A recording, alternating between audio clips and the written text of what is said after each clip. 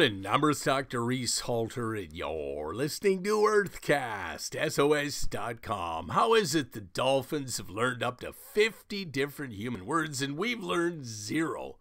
We do not know, nor speak, nor understand Dolphinese. What we do have, on the other hand, are lots of recordings, patterns as they are. The rare Araguaian river dolphins of Brazil were only discovered a half a dozen years ago.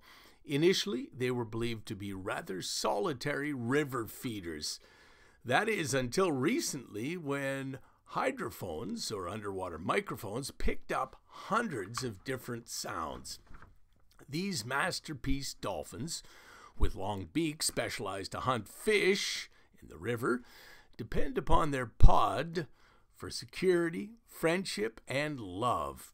237 different sounds were recorded over a 20 hour period. Each dolphin has its own signature whistle, its name. These dolphins use higher frequencies, possibly to compensate and avoid echoes from the dense river vegetation, as well as keeping in touch, close touch, with their mothers and other pod members.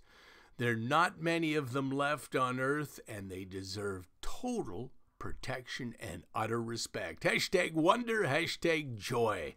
Hashtag love dolphins, hashtag love is the solution, hashtag love nature. Earthcast SOS depends upon you, the listeners. So don't be bashful. Come on to drreese.com, D R R E S E.com Click on those donate buttons.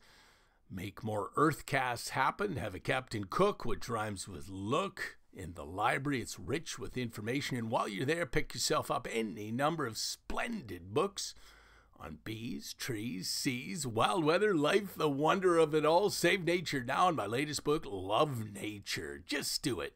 Dr. Reese com. I'm Earth Dr. Reese Halter, reminding you to protect our planet.